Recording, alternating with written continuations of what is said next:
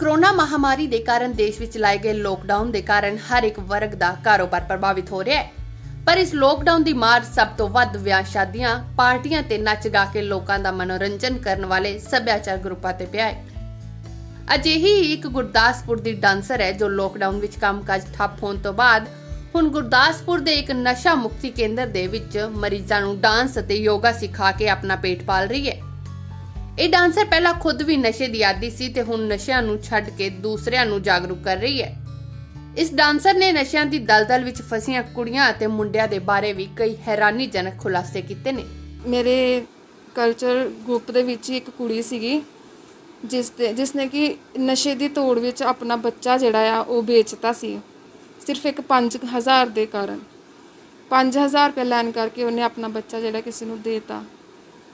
ਕਿ ਇਹ ਨਸ਼ਾ ਇੰਨਾ ਮਾੜੀ ਚੀਜ਼ ਹੈ ਨਾ, ਬਹੁਤ ਹੀ ਮਾੜੀ ਚੀਜ਼ ਹੈ।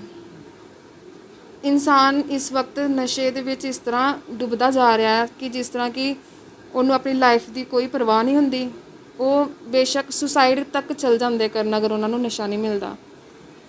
ਤੇ ਉਹਨਾਂ ਨੂੰ ਇਹ ਗਲਤ ਰਸਤਾ ਛੱਡ ਕੇ ਆਪਣੇ ਇਲਾਜ ਵੱਲ ਫੋਕਸ ਕਰਨਾ ਚਾਹੀਦਾ ਹੈ ਕਿ ਬਿਲਕੁਲ ਠੀਕ ਹੋ ਸਕਦੇ ਆ, ਕਿਉਂਕਿ ਕੋਈ ਵੀ ਚੀਜ਼ ਹੈ ਜਿਹੜੀ ਉਹ ਇੰਪੋਸੀਬਲ ਹੋ ਨਹੀਂ ਸਕਦੀ।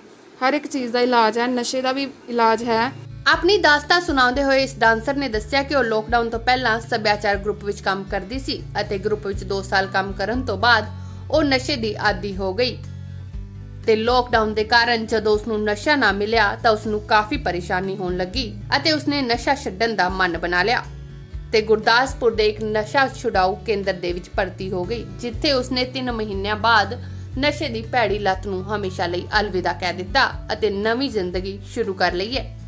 ਮੈਂ 6 ਸਾਲ ਤੋਂ ਸੱਭਿਆਚਾਰ ਦਾ ਕੰਮ ਕਰ ਰਹੀ ਸੀ ਤੇ ਸਾਲ ਇੱਕ ਮਤਲਬ ਕਿ ਮੈਂ ਨਸ਼ੇ 'ਚ ਮਤਲਬ ਕਿ ਜੋ ਵੀ ਆਪਣੀ ਸੇਵਿੰਗ ਵਗੈਰਾ, ਜੋ ਵੀ ਪੈਸਾ ਮੈਂ ਜੋੜਿਆ 6 ਸਾਲ 'ਚ, ਮੈਂ 1 ਸਾਲ ਦੇ ਅੰਦਰ ਅੰਦਰ ਹੀ ਉਡਾਤਾ। ਤੇ ਇੱਕਦਮ ਬਿਲਕੁਲ ਖਾਲੀ ਹੋ ਚੁੱਕੀ ਸੀ ਮੈਂ, ਮੇਰੇ ਕੋਲ ਮਨੀ ਦਾ ਇਸ਼ੂ ਹੋ ਗਿਆ ਤੇ ਉਸ ਤੋਂ ਬਾਅਦ ਕੰਮ ਬੰਦ ਹੋ ਗਿਆ ਤੇ ਬਹੁਤ ਜ਼ਿਆਦਾ ਪ੍ਰੋਬਲਮ ਦਾ ਸਾਹਮਣਾ ਕਰਨਾ ਪਿਆ।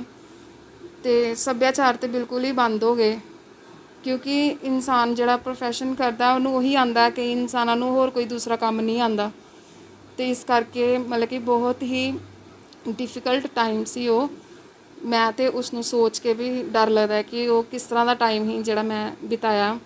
ਹੁਣ ਮੈਂ ਬਿਲਕੁਲ ਹੈਲਥੀ ਲਾਈਫ ਜੀਂਦੀ ਆ ਇੱਥੇ ਟ੍ਰੀਟਮੈਂਟ ਤੋਂ ਬਾਅਦ ਉਹ ਦੁਬਾਰਾ ਹੁਣ ਸੱਭਿਆਚਾਰ ਗਰੁੱਪ ਵਿੱਚ ਕੰਮ ਨਹੀਂ ਕਰਨਾ ਚਾਹੁੰਦੀ ਤੇ ਉਸਨੇ ਫੈਸਲਾ ਕੀਤਾ ਕਿ ਉਹ ਨਸ਼ਾ ਮੁਕਤੀ ਕੇਂਦਰ ਦੇ ਵਿੱਚ ਰਹਿ ਕੇ ਨੌਜਵਾਨ ਮੁੰਡੇ ਕੁੜੀਆਂ ਨੂੰ ਇਸ ਬੁਰੀ ਲੱਤ ਤੋਂ ਦੂਰ ਕਰੇਗੀ। ਇਸ ਮਕਸਦ ਦੇ ਨਾਲ ਹੀ ਇਸ ਡਾਂਸਰ ਨੇ ਨਸ਼ਾ ਮੁਕਤੀ ਕੇਂਦਰ ਦੇ ਵਿੱਚ ਨੌਕਰੀ ਕਰਕੇ ਨਸ਼ੇ ਵਿੱਚ ਫਸੇ ਨੌਜਵਾਨ ਮੁੰਡੇ ਕੁੜੀਆਂ ਨੂੰ ਯੋਗਾ ਅਤੇ ਡਾਂਸ ਸਿਖਾਉਣ ਦਾ ਕੰਮ ਸ਼ੁਰੂ ਕੀਤਾ ਹੈ ਤੇ ਇਸ ਦੇ ਨਾਲ ਨਾਲ ਉਹ ਆਪਣਾ ਪਰਿਵਾਰ ਪਾਲ ਰਹੀ ਹੈ।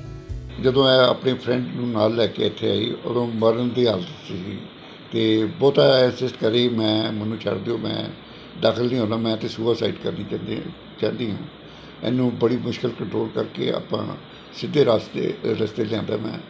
ਤੇ ਇਸ ਸੈਂਟਰ ਦੇ ਵਿੱਚੋਂ 1 ਮਹੀਨਾ ਇਲਾਜ ਕਰਨ ਤੋਂ ਬਾਅਦ, ਇਹ ਇੱਕ ਹੁਣ ਸਾਡੇ ਸੈਂਟਰ ਵਾਸਤੇ ਵਰਦਾਨ ਸਿੱਧ ਹੋ ਰਹੀ ਹੈ।